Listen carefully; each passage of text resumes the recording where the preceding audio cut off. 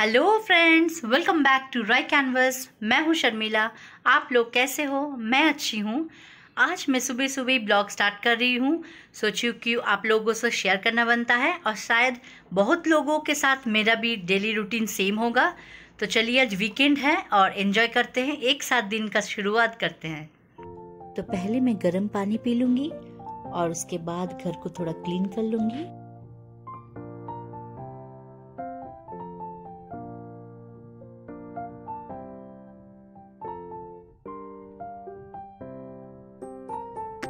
अभी कपड़े भी वॉश हो गया है।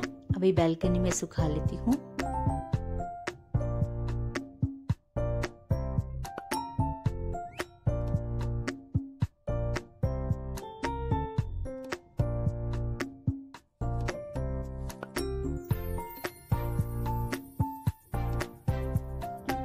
आज वेदर बहुत ही अच्छा है। और आज मैं ब्रेकफास्ट में बनाऊँगी सैंडविच जो बहुत ही सिंपल रेसिपी है।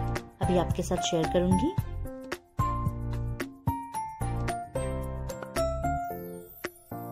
तो सैंडविच बनाने के लिए मैंने ऑलरेडी गाजर को कट कर लिया है। इधर मैंने दो गाजर को कट किया है। इधर मैंने दो खीरा लिया है और खीरा को राउंड शेप में कट किया है। इधर मैंने एक मीडियम साइज़ का आलू लिया है। आलू को भी राउंड शेप में कट किया है। अभी मैं आलू को और गाजर को बॉईल कर लूँगी। जब थोड़ा पानी बॉईल होना स्टार्ट हो जाएगा, मैं सॉल्ट ऐड कर रही हूँ।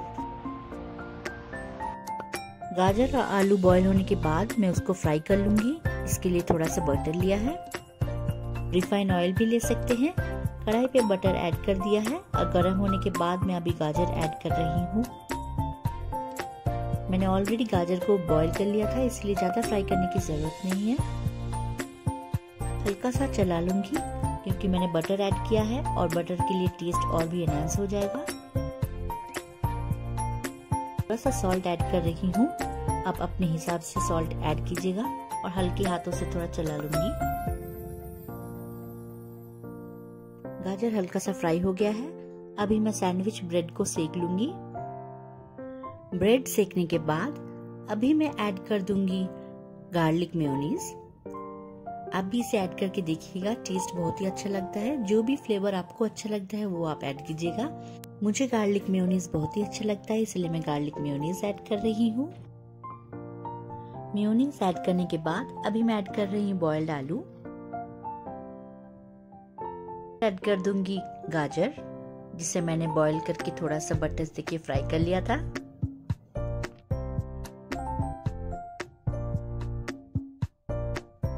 अभी मैं ऐड कर दूँगी खीरा।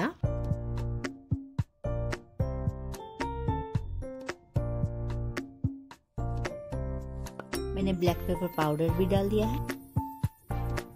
अभी मैं सेजवान चीज़ स्लाइस डाल रही हूँ। अगर आपके पास सैंडविच मेकर है तो बहुत अच्छा है। अगर नहीं है तो कोई बात नहीं है। मेरे तरह आप तावा में कर सकते हैं। तावा थोड़ा गर्म होने के बाद थोड़ा सा बटर ऐड कर रही हूँ।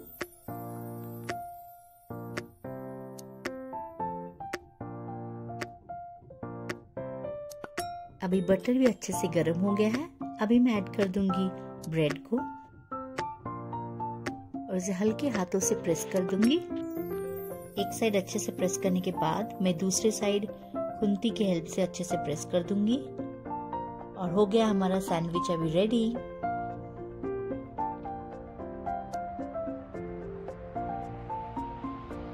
अभी मैं सैंडविच को मिडिल से कट कर लूँगी। ये खाने में इजी होता है।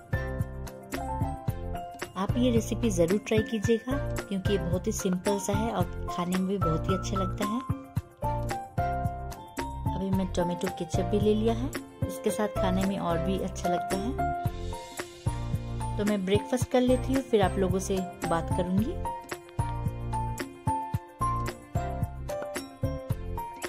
मैं लॉकडाउन से एक दिन पहले हेयर कट किया था, अभी लेंथ तो बढ़ गया है, मैंने इतना शॉर्ट किया था हेयर अभी लेंथ बढ़ गया, इसलिए हेयर कलर इधर से इधर आ गया है। इधर पूरा ब्लैक दिख रहा है, मुझे अच्छा नहीं लग रहा है, इसीलिए मैं आज हेयर कलर करूँगी। और मैं हेयर कलर यूज़ करती हूँ स्ट्रिक्स का burgundy colour three point one six number. तभी वो अप्लाई करूँगी और फिर देखते हैं कैसा लगता है। और पूजा का टाइम है तो थोड़ा मेकओवर अच्छा लगता है। मुझे पूरा हेयर कलर करने के लिए दो बॉक्सेस लगता है। आपको ये ऑनलाइन में मिल जाएगा। और मुझे इसका प्राइस पड़ा था वन फोर्टी नाइन रुपीज़ पर बॉक्स और इसका नंबर आप देख सकते हैं three point one six box के अंदर रहता है एक डेवलपर क्रीम हेयर कलर करने के लिए एक ब्रश चार कंडीशनर का सैशे एक इंस्ट्रक्शन रहता है कि आपको कैसे अप्लाई करना है और कितना मिनट के लिए रखना है और ग्लव्स तो पहले मैं हेयर कलर कर लेती हूँ, फिर आप लोगों से बात करूँगी। तो मैंने हेयर वॉश भी कर लिया है और ड्राई करने के बाद अभी आप लोगों से बात कर रही हूँ। आप लोगों को पता है कि बर्गंडी कलर घर के अंदर उतना समझ में नहीं आएगा, ये सनलाइट में भी अच्छे से कलर समझ में आता है। तो मेरा कलर तो हो गया है, अभी लंच कर लेती हूँ। आज मैंने बनाया है लंच में पपाया आलू दे की फ़िश करी। एक ऑथेंटिक बंगाली डिश है, बहुत ही टेस्टी है और बहुत ही सिंपल है। ये रेसिपी मैं कभी और आपके साथ ज़रूर शेयर करूँगी। और बनाया है अमरंथा स्लीप फ्राई ये रेसिपी मैं ऑलरेडी आपके साथ शेयर की हूँ। लिंक मैं डिस्क्रिप्शन बॉक्स और ऊपर आई बटन में डाल दूँगी। बज रहे शाम के साढ़े छः और अभी थोड़ा टाइम है, इसीलिए मैं सोच रही हूँ कि नेल पॉलिश लगा लेती हूँ। तो चलिए, अभी दिखाती हूँ, पाँच मैंने निकाला है, उसमें से देखती हूँ कौन सा अप्लाई करूँगी। तो चलिए दिखाती हूँ आपको। पहले मैं थोड़ा चाय बना लेती हूँ। चाय पीने के बाद आपके साथ नेल पॉलिश शेयर करूँगी। देखती हूँ कौन सा अप्लाई करूँगी।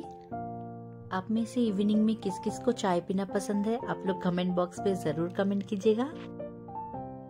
अभी के लिए मैंने पाँचों नेल पॉलिश निकाला है। देखते हैं इसमें से कौन सा अप्लाई करूँगी।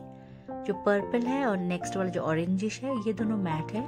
और रेड और ब्लू ये नॉर्मल सा शाइनी सा है। और जो ग्लिटर है वो तो नेल पेंट के ऊपर लगाऊँगी। तो देखते हैं इसमें से कौन सा अप्लाई करूँगी। तो मैंने डिसाइड किया कि ब्लू लगाती हूँ। ये ब्लू कलर अच्छा लग रहा है और उसके ऊपर ये ग्लिटर लगाऊँगी।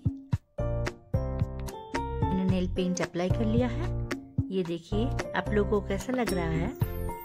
मुझे तो बहुत अच्छा लग रहा है।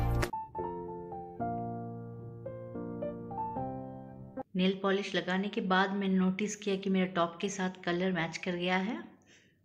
अगर आपको ये ब्लॉग थोड़ा सा भी अच्छा लगा है तो प्लीज़ लाइक, शेयर और मेरे चैनल को सब्सक्राइब करना ना भूलें। मैं आप सबसे फिर मिलूँगी एक नया ब्लॉग के साथ। Till then be happy be safe keep smiling thank you for watching Roy canvas